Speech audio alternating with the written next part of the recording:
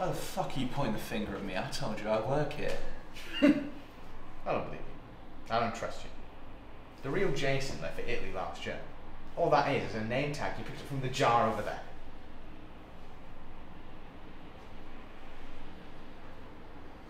I know what you're thinking.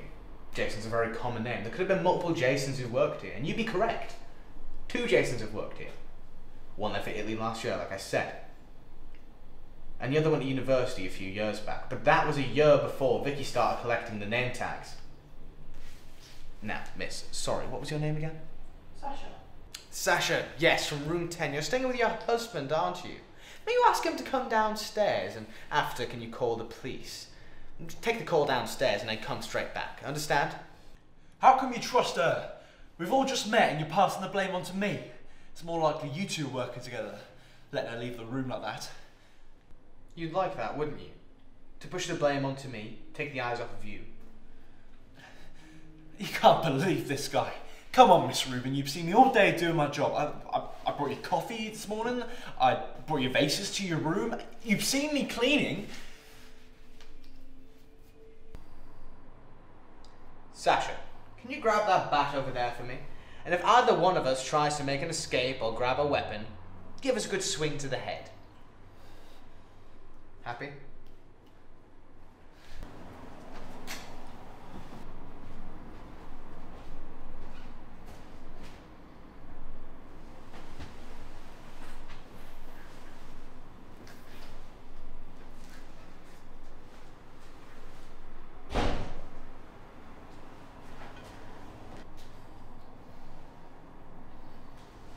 Do you know what holiday it is today? No. Hmm. Should I? Yes, you should. Vicky didn't tell you? It's Passover. Now, despite her Jewish roots, she wasn't too committed to her religion. Her husband, on the other hand, was, so she still celebrates Passover for him. You were very familiar with her husband, weren't you? I never knew they were married.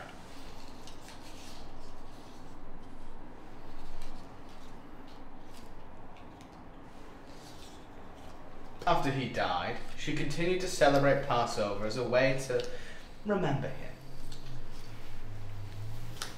She would close the hotel for the holiday and invite her family and friends to stay there with her. Well, she never told me that. Maybe she left town this year to celebrate with her family instead. She would never leave town after how her husband died. How come you know so much? You know more about Vicky than I do. Your family? Friend? Maybe someone worse. You can try to make me out as a stalker or something else.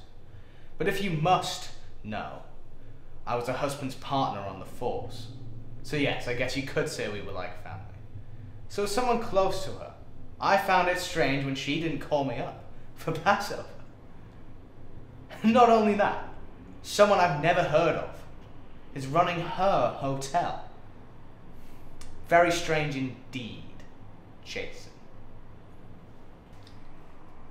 Sasha, can you come over here, please? Yeah, of course.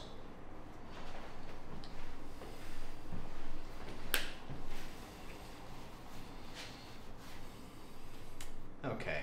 I think it's time we reveal to our audience who you are. I told you my name is Jason. I work here. Vicky told me to run the place until she got back. Are you finished lying yet? That's the truth! Sasha, do you see any name tag here saying Jason? No.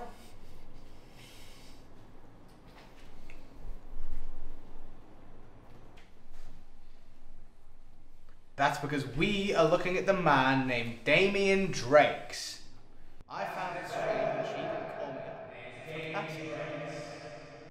for Not only that, someone I've never heard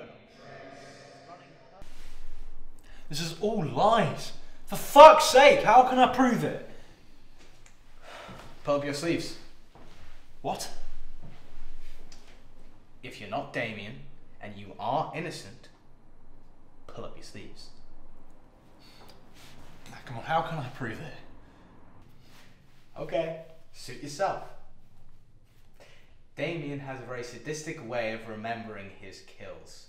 He carves the method in Spanish into his arm.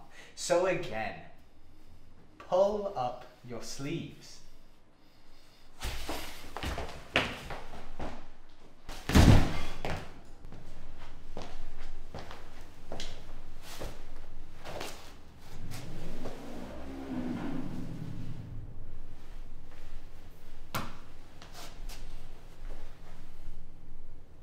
Sasha, get your husband. Need help taking him down to the cellar.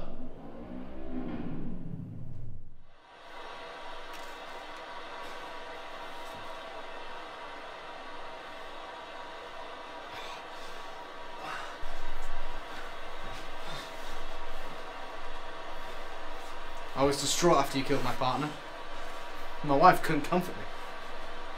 So I quit the force, I turned to alcohol. She divorced me and got full custody of my daughter.